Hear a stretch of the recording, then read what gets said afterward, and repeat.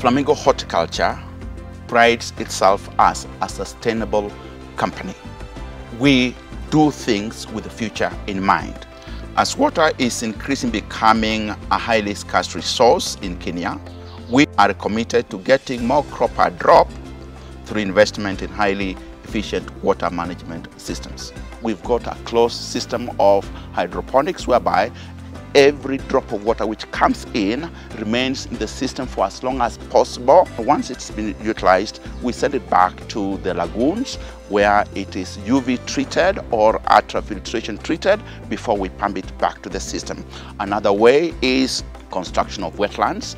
This is to manage the grey water which comes from the pack house. Initially the water is very uh, dirty and grey, but by the time it comes from the last day cell, the water is so clean that it's drinkable. During the rains, we do rain harvesting. Every drop of water which lands on the plastic films is channeled through the water drains to the reservoirs where it is collected and reused. Between Mount Kenya and Naivasha regions where we operate, in the last five years, we have spent 5 million sterling pounds.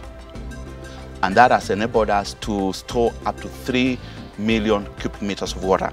And this is enough to keep us going for up to 120 to 160 days without rain.